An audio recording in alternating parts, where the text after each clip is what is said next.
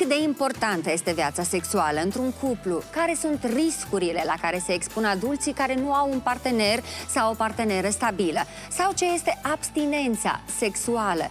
Cât de des v-ați întrebat despre toate astea? Dacă nu ați făcut-o, urmează să o facem împreună cu Vasile Botnar, chirurg urolog și Livia Pavelescu, medic ginecolog, colegii noștri de la doctorii, care vin să ofere din punct de vedere medical și psihologic uh, răspunsuri de care avem nevoie. Salutare și bine ați venit!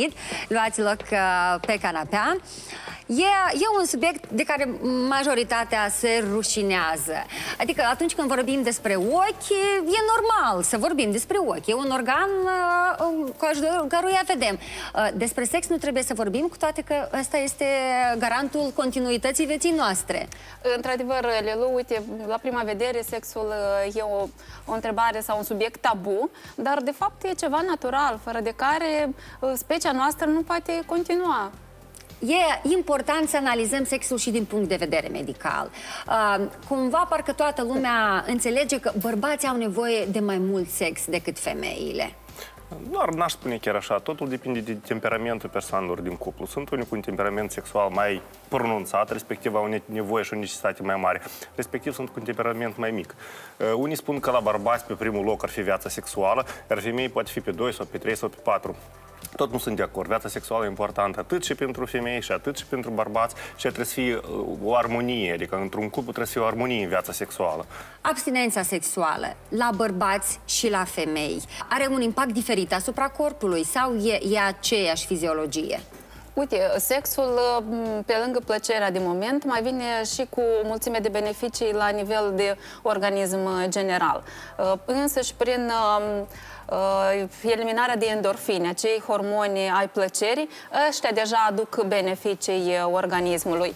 Uh, plus la asta mai înlătură foarte bine stresul, sexul, îmbunătățește foarte bine circulația sanguină, respectiv aportul de oxigen către toate organele mm -hmm. și, dar pentru femei în special, îmbunătățește aspectul tenului, din cauza că uh, pe lângă circulația asta îmbunătățită, apar și, mm, uh, și oxigenul și substanțele nutritive care dă acea luminozitate și uh, o față așa mai, mai frumoasă, mai un ten mai curat.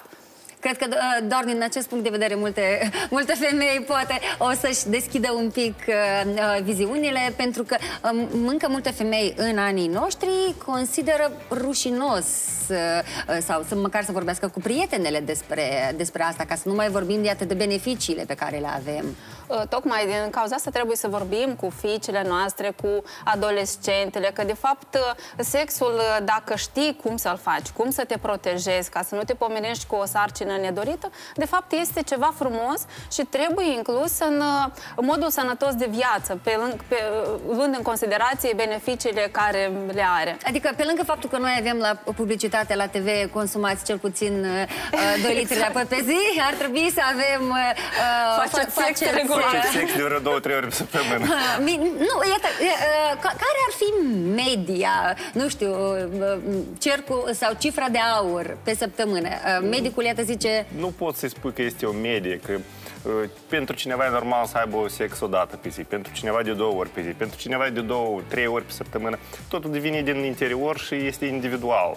Dar nu este o normă. Bineînțeles că Abstinența nu e benefică, pentru că, cum a spus Livia, sexul are doar părți pozitive, excluzând o sarcină nedorită sau o infecție sexuală, dar uh, pentru bărbați, în primul rând, este o profilaxie și a cancerului de prostată. Sunt studii în care sunt demonstrate că cu câte mai multe ejaculări sau cu multe contacte sexuale un bărbat pe parcursul anului, cu tot respectiv scade frecvența sau uh, probabilitatea de a face un cancer de prostată. Pe lângă asta, uh, persoanele care fac sex, în studii în Statele Unite făcute, că persoanele care fac mai des să aveau sex sau o viață sexuală regulată, sunt mai fericite.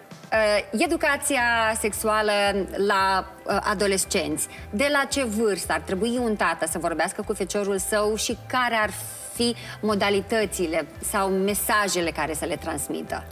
Sexologii au păreri diferite. Cineva spune că deja trebuie de explicat copilului ce e acest organ sexual, atât la fetițe cât și la băieței, chiar și pe la 5, 6, 7 ani. Uh, unii spun că trebuie mai târziu, deja când începe uh, perioada de pubertate sau perioada de dezvoltare sexuală, uh, dar părerea mea e că trebuie în primul rând copilul să afle aceasta de la părinți. Nu trebuie să afle undeva din stradă sau din clasă sau de la televizor. Cel mai bine totuși părinții, mama, tata să explice ficiorului, fiicei. Livia, ai fată mare. Exact.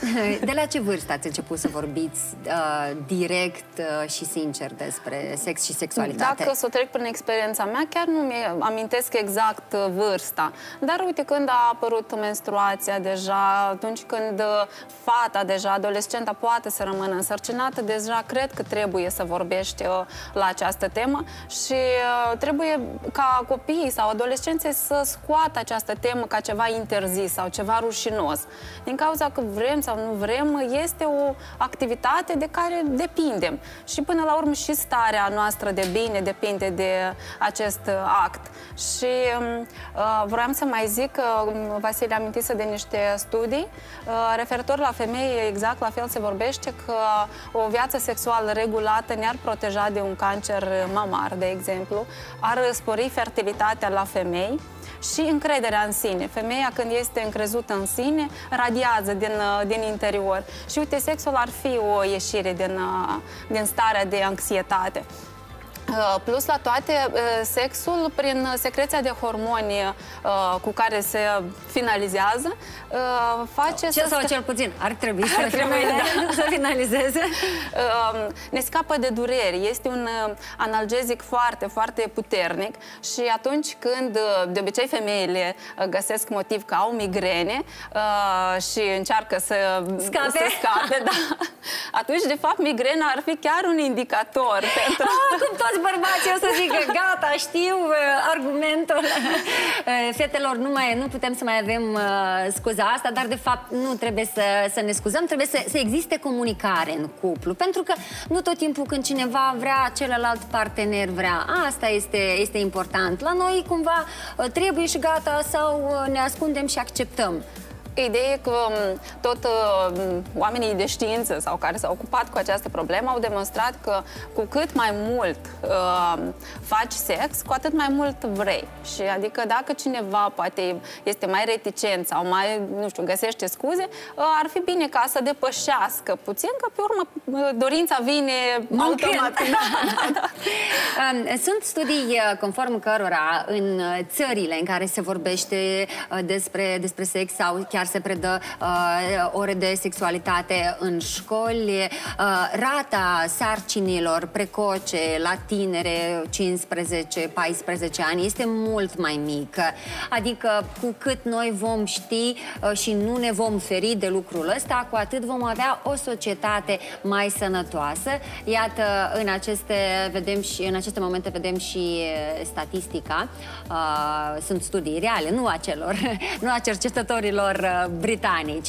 Revenim la cei mai mari, adolescenții. Am, eu am impresia că unii dintre ei știu mai multe decât știm noi la, la, la vârsta noastră. Uh, ce se întâmplă uh, cu cei care trec deja prin viață și forțele naturii nu mai sunt așa de uh, darnice? Uh, pastilele uh, pentru, pentru bărbați, uh, cât de um, sănătoase sunt și cât de des ar trebui ele utilizate? Dacă să vorbim de problema disfuncție sexuală, să spunem, sau erectilă la bărbați, aceasta, dacă bărbatul este sănătos, nu are careva probleme de sănătate, diabet zaharat, patologii cardiace, ă, el poate fi sexual activ până la adânci bătrânețe. Toate problemele ce țin de disfuncție sexuală vine din cauza unui diabet zaharat, insuficiență cardiacă, ateroscleroză, o poate o patologie urinară infecțioasă în, ă, în tinerețe.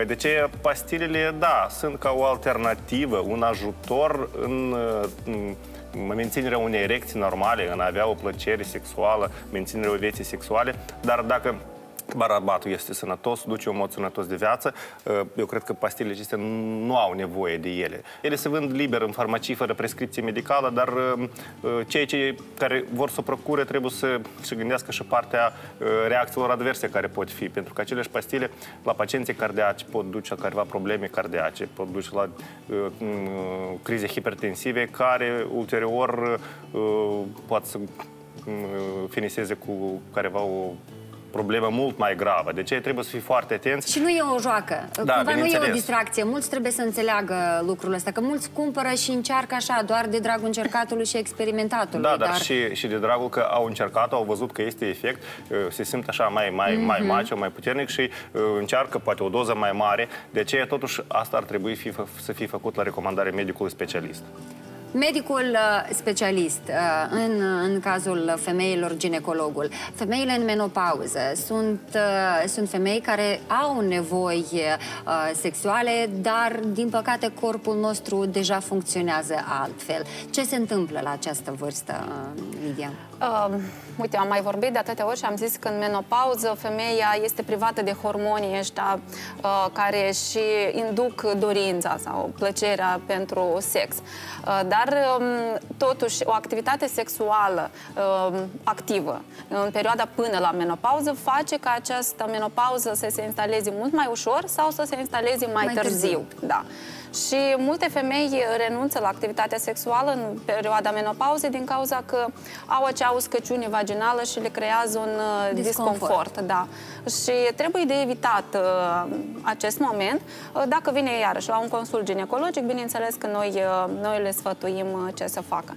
Dar, uh, uite, tot menopauza vine la la pachet cu un simptom chiar deranjant pentru femei, cu incontinență urinară, adică femeile scapă urina la un stărnut sau la un efort fizic. Uh, și aici, iarăși, activitatea sexuală regulată uh, previne cumva acest simptom, din cauza că în timpul sexului mușchii planșeului pelvin, mușchii vaginali uh, sunt într-un continuu activitate, să zic, și îi face mai, mai viguroși. Și uite, asta face ca acest simptom să, să fie mai mai puțin evident sau să apară tot mai, mai târziu. E adevărat, nu trebuie să ne fie rușine, așa cum mergem uh, la ginecolog înainte de, de naștere, așa putem să mergem și uh, iată când ajungem la menopauză sau când avem alte probleme. Avem sexologi în țara noastră, la fel, care pot să ne ajute.